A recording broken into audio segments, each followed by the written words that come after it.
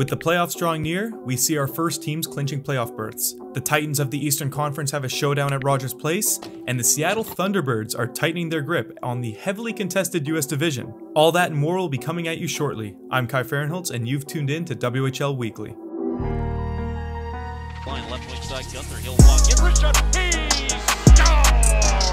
Now he's got the hat trick, Dylan Guenther. Hometown Bedard cuts to his right, shoots and scores! Connor Bedard breaks the deadlock 22 seconds into the second period.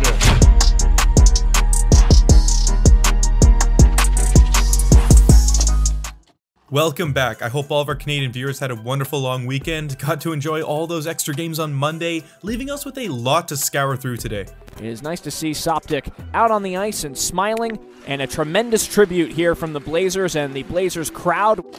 Let's open things up though by congratulating Seattle Thunderbirds blue liner Samuel Knazko. He's coming back from Beijing with some hardware he'll never let go of, securing a bronze medal with Slovakia's men team after toppling the Swedes in a 4-0 victory.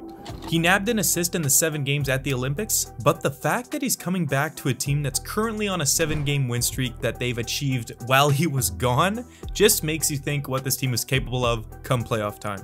To put it lightly, the core group of guys are just putting on an absolute clinic. Acquiring Lukas Svejkovsky has really added that volatility the top 6 really needed, and the numbers prove it. 13 points during this win streak and 19 points since being traded. His play has bolstered the stats of Henrik Rybinski and Jared Davidson. As you can see in these numbers, the guys have combined for 35 points over this 7 game stretch. And when you look at the depth, they're contributing at a ridiculous pace as well. Schaefer is a goal per game, Gustafson is a point per game, and the top two pairing of Kevin Korchinski and Jeremy Hanzel has been setting everyone up like they're getting the dinner table ready. And the T-Birds 5-1 win over the Winterhawks on the 19th was a staple performance. 37 shots to 27, 3 for 6 on the power play, and securing a shorthanded goal as well. If there was any team at the start of the year that I felt was going to stun people, it was the Seattle squad. With the variety of size and skill and creativity they have, I can easily see them breaking the hearts of the Winterhawks or the Rockets come playoff time.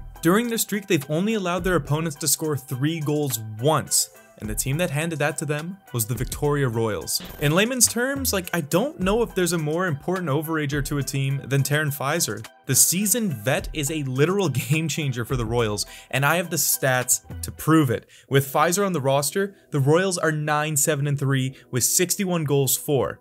Without, they're 5-23 and 2 with 53 goals for. The guy has only played in 19 games of the team's 49 and is involved on 20% of the team's total goals this year and sits fourth in team scoring. And when you look at the fact that he is a plus 8 and the next highest full-time player is their other overager Bailey Peach with a minus 9, you know Fizer's doing the right things. His return has helped spark this team in the right direction, breaking the team's 18 game losing skid, and that race for the final playoff spot with Tri City and Spokane is really tight now.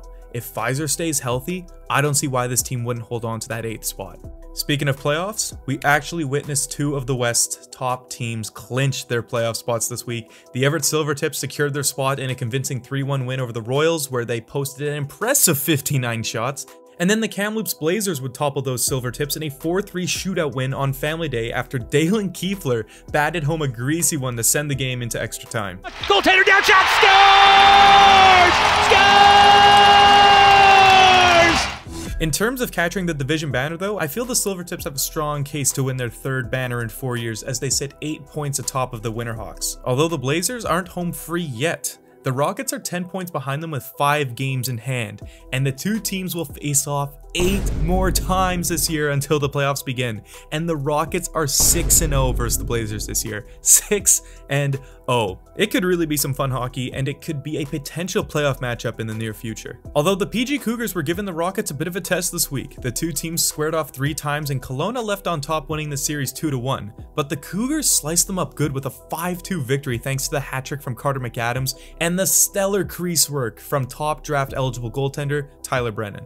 The Rockets only won their games 3-2 in each contest over the weekend as well, like perhaps the Cougars' young core is finally beginning to settle in, and maybe this team can put up a fight against whoever they will face in the first round. Brennan is not the only draft-eligible goalie that is catching my eye as of late now. Let's see who it is in the Prospect Watch. Andrew Cristall with the cross goal! Frank Bedard pulls the trigger, Pat save, rebounds,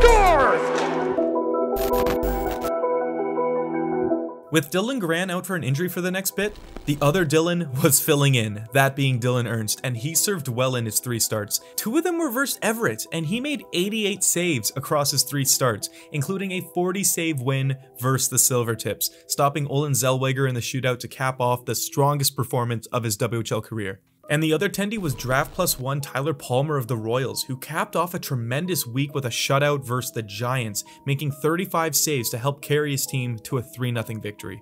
Outside of the crease though, but still doing solid defensive work, is Broncos center Connor Hvidston, who's one of the youngest guys in the draft class, but he doesn't play like it. His reliable two-way game is hard to ignore and he's been awarded for his efforts lately, nabbing two goals versus Medicine Hat and adding an assist on Josh Davies' goal versus Regina, who is actually on my list too. Davies has unlocked more of his offensive tools over the weekend, providing three goals and six points, and was a key factor in securing two big victories to help separate the Broncos from the rest of the pack. And finally, 2023 eligible Nate Danielson is just finding new ways to solidify himself as a first round contender for next year, recording a hat trick and six points over the weekend to get himself over a point per game, leaving him only behind Zach Benson and Connor Bedard for points per game among 2023 eligibles. Danielson's Wheat Kings have been the talk of the town lately in the Eastern Conference as well. They've won 8 of their last 10 games and currently ride a 4 game win streak, with major props to Danielson. But the real damage is being done by Ridly Greig, like literal damage. the kid is such a workhorse and plays such a fierce game, it's no wonder why he was able to put up a smoking 8 points over his last 4. Like, some may have called it a reach when he was taken in the first round in 2020, but damn, like this kid just knows how to blow away expectations. Speaking of which, everyone in Edmonton had their minds blown on Sunday. In behind that, Guenther, lacrosse style play, he scores! Finishing the hat trick in style, Dylan Guenther goes Michigan. Four goals and a Michigan?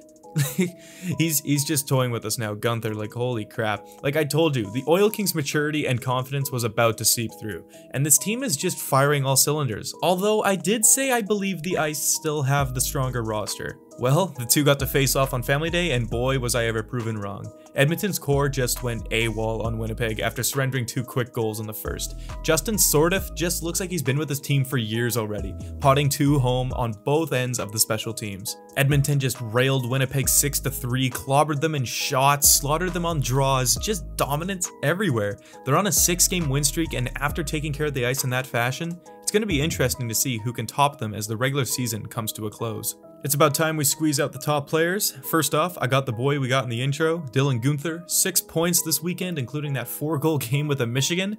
like, way to raise the bar.